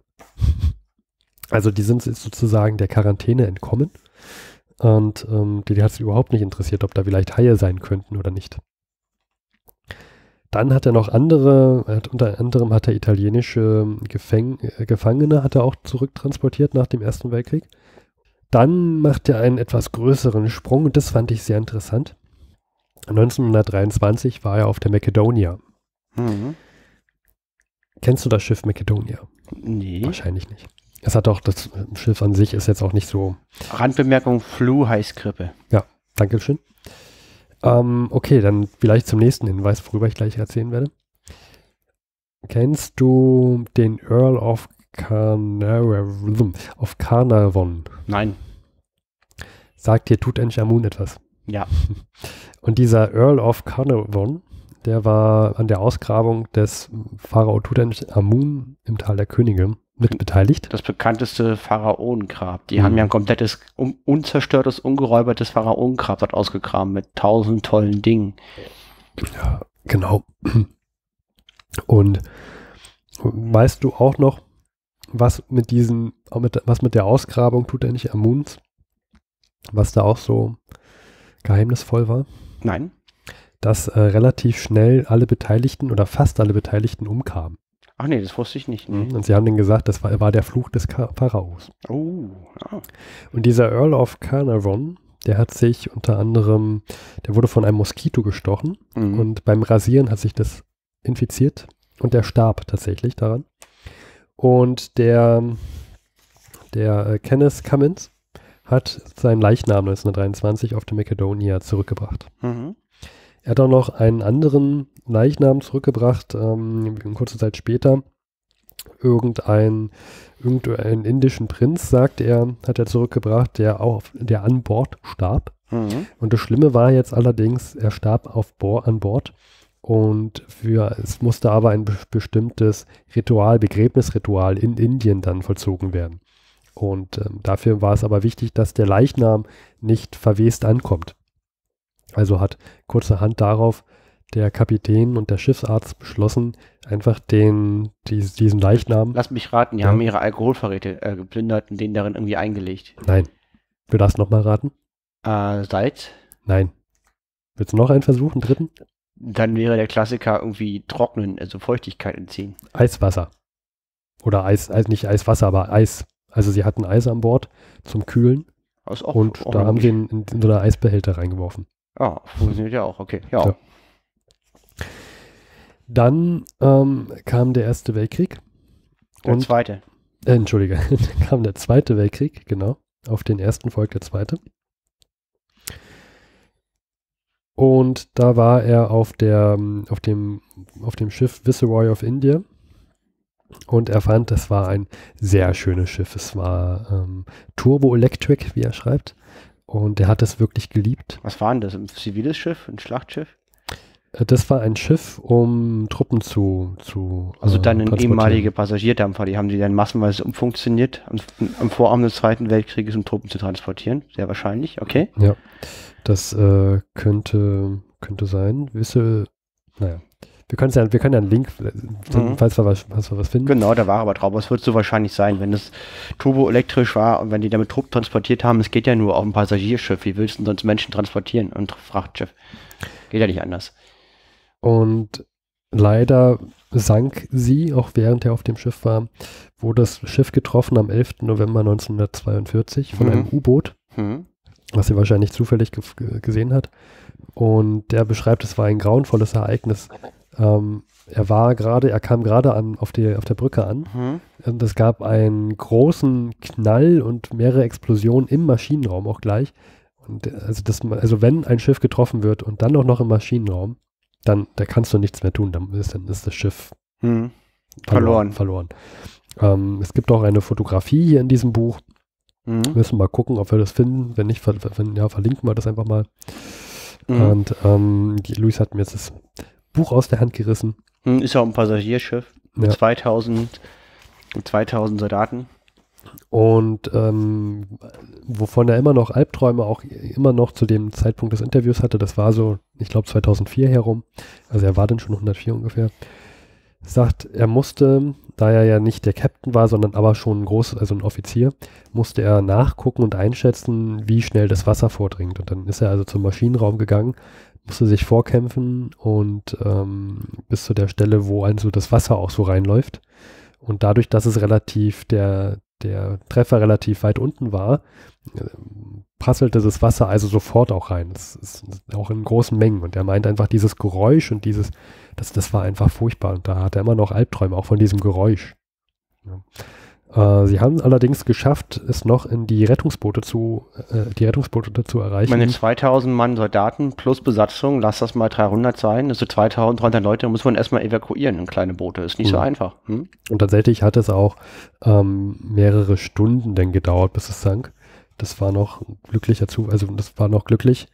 Und der konnte allerdings keine Habseligkeiten mitnehmen. Er ist dann in seine Kabine gegangen und hat seine schickste Uniform angezogen und ist dann mit der in ein Rettungsboot gestiegen. Und er meint, es war relativ schade, weil er gerade auch, wenn er mal jemanden nach Indien transportiert hat oder so, auch durchaus noble, noble Persönlichkeiten, dann haben die ihnen sehr schöne Geschenke gemacht und wertvolle Geschenke. Und das musste er jetzt alles dort an Bord lassen. Hm, Da würde mich mal interessieren, ob dieses Schiff vielleicht schon ähm, mal entdeckt wurde und ob man vielleicht da auch, ob vielleicht da diese Gegenstände da noch so liegen. Ne? Man hat ja da mal so roma romantische Vorstellung, Vorstellungen. Naja. Ähm, aber so viel dazu. Er hat dann im Zweiten Weltkrieg letztendlich hat er Truppen transportiert. Er sagt hier auf großen Schiffen über den Atlantik rüber, unter anderem um die 10.000 Mann. Mhm. Ähm, zum Beispiel auf, auf der Queen Mary und der Queen Elizabeth. Das waren damals die größten Schiffe der Welt. Und da hat er, also jedes von denen hat 15.000 Truppen ähm, transportiert. Wahnsinn. 15.000 Menschen auf ein Schiff. 25 Knoten hat so ein Schiff gemacht von denen. Mhm. Und er sagt, das war eine relativ sichere Angelegenheit, weil die mit 25 Knoten waren sie schneller als die U-Boote. Mhm. Und daher hatte er also keine Angst, dass da irgendwas passieren würde. Ich wäre jetzt nicht ganz so zuversichtlich gewesen auf so einem Schiff, hätte er mich da transportieren müssen. Hätte da, glaube ich, schon Schiss gehabt. Und ähm, so viel auch zu seinen, zu seinen ähm, Erzählungen 19 bis im Zweiten Weltkrieg. Also Mhm. er hat hau hauptsächlich im Ersten und Zweiten Weltkrieg Truppen transportiert. Mhm. Und dann kommt er so ein bisschen, wie er denn so aufgehört hat. Und äh, er sagt also, die Zeit bis 1960 war schön, auch um auf Schiffen zu segeln und um die Welt zu schippern. Und danach wurde ihm alles zu hektisch und er findet nicht mehr, dass die, dass die Menschheit noch Zeit hat. Also es geht ihm alles zu schnell. Ganz Ähm, interessant. Die ja. Beschleunigung, das ist ja, Mhm. das ist ja auch was dran. Ich finde auch, dass viele Dinge zu schnell geworden sind. Unter anderem sagt er auch, dass er, dass er gar nicht so diese ganzen technologischen Neu Neuerungen ähm, wertschätzt. Und da reden wir jetzt nicht so von Computer und Auto und so. Ähm, wobei ja auch 1900, naja, also Autos gab es ja auch schon, als er da jung war. Ähm, sondern er meint so sowas zum Beispiel wie elektrisches Licht. Früher, als er klein war, als er noch ein Junge war, da hat man halt abends Kerzen gehabt und ist einfach früher ins Bett gegangen und trotzdem haben die Menschen funktioniert. Und heute muss man immer spät abends aufbleiben und ähm, muss noch spät abends arbeiten und dieses Licht anhaben. Was er auch nicht so, so gut findet, ist der medizinische Fortschritt, komischerweise. Er sagt halt, ja, wenn früher jemand im, im hohen Alter, lass es vielleicht, na, ich nenne jetzt lieber keine Zahlen, um niemanden zu verletzen, im hohen Alter krank war. Und ähm, ja, dann ist er halt gestorben, relativ schnell. Und man hat ihn nicht wie heute noch ewig am Leben gelassen und, und hat ihn dann da qualvoll vor sich hin vegetieren lassen. Und das findet er schlecht. Man sollte die Menschen einfach, Menschen sollten, Menschen sollten auch schnell sterben dürfen. Das ist seine Meinung. Zu, dem, zu der Aussage, und das fand ich spannend, das hatten wir in den ganzen letzten Interviews nicht mehr, ähm, nämlich immer noch die Frage, was glaubst du, warum du so lange gelebt hast? Ne? Er war, äh, er, ähm, er war auch, glaube ich, der, der jüngste, nee, der älteste von seinen Geschwistern und ist aber auch der, der letzte von seinen Geschwistern, der noch am Leben war. Und er sagt ja, ähm, er war immer sehr diszipliniert, hat aber auch Alkohol getrunken, allerdings immer in Maßen, hat sich probiert, gesund zu ernähren, hat aber ge- geraucht wie ein Schlot, seitdem er Jugendlicher war. Also jeden Tag seine Pfeife auch. Und ähm, das, ich glaub, er, er meint, der Hauptaspekt, warum er so lange liebt, äh, lebte, war ähm, wahrscheinlich Liebe. Ähm, damit meint er jetzt nicht, das schreibt er explizit so hin, damit meine ich nicht Sex, sondern ich meine richtige Liebe. Und nicht nur die Liebe einer Frau, sondern auch die Liebe ähm, zu seinen Kindern. Denn er hat auch relativ spät hat er seine Frau kennengelernt, da war er schon über 50 Jahre alt und hat Mhm. drei Kinder dann mit ihr bekommen. Ähm, ich glaube drei Kinder, ja. Und die, die lebten anscheinend auch noch zum Zeitpunkt des Interviews. Und ähm, meinte, also auch diese Liebe hat ihn, das, das bewirkt halt, dass ein Mensch lebt. Mhm. Fand ich auch schön. Ähm, er hatte dann noch andere Ansichten, von denen er so auch erzählt hat. Unter anderem, ja, die, ähm, die, die Frau gehört hinter ein Herd und soll sich um die Kinder kümmern und so weiter. Und äh, komischerweise, er sagt das und weiß aber auch, dass er damit ähm, old-fashioned ist. Also, dass er veraltete Ansichten hat. Das, das sagt mir auch immer mein Sohn, hat er, dem ges gesagt. Das ist ihm bewusst, dass er damit nicht mehr zeitgemäß ist, aber er bleibt bei seiner Entscheidung, Ich muss halt sagen, seiner Meinung. bei einem 106-Jährigen ist das auch irgendwie cool, bei allen anderen nicht. Ich teile diese Meinung nicht. Ich finde aber, wenn so ein 106-Jähriger sagt, so, das ist halt meine Meinung, Ja. und das mit dem modernen elektrischen Licht, das finde ich auch irgendwie scheiße. Wenn es dunkel ist, haben Leute zu schlafen. wenn, die Licht haben, was machen sie mit ihrer Zeit? Die sind einfach wach und arbeiten. Ist doch scheiße. Ja. Ich meine, Kann, Hey. man, kann man halten, wie man will. aber ne? wenn man 106 ist, darf man das. Ja, und also, er hat verquerte Ansichten, ja. Äh, aber gut, der ist 106, den Der kann man auch nicht das. mehr ändern. Und der, dem ist es auch bewusst. Und, ja. und das war die Geschichte von Kenneth Kamen. Ja, Dankeschön. War wieder eine sehr schöne Geschichte. Hm, ja. Und äh, ich finde ich finde persönlich für mich immer interessantesten, was die sagen, warum die so alt geworden sind. Keiner sagt, weil er so viel gearbeitet hat, ne? Zum Beispiel, sondern ja, da muss man mal drüber nachdenken. ne? ne? die sagen, Also, wobei, er sagt ja, dass er ein sehr diszipliniertes Leben hatte und er hat ja auch, ähm, wenn man mal überlegt, er hat ja auch anscheinend bis zum Ende, also in die 60er rein, hat er ja noch auf dem Schiff gearbeitet. ja, ja. Sehr, sehr diszipliniert. Aber das heißt ja nicht arbeiten. Disziplin kann ja auch sein, dass er Sport gemacht hat oder sich gut um seine Kinder gekümmert hat Mhm. oder so. Das Mhm. ist ja, Disziplin ist ja, fand ich interessant. Also, die, die, die, dass die Antwort ist, ja, äh, ich habe mich sehr um äh, also sehr um den Moment gekümmert und nicht so viel gegrübelt. Und es sagt halt auch Liebe. Und es, ist, es gilt auch als Ermessen, dass halt Einsamkeit eins der ähm, lebensverkürztesten Merkmale überhaupt ist. Also genauso schlimm oder schlimmer wie Rauchen.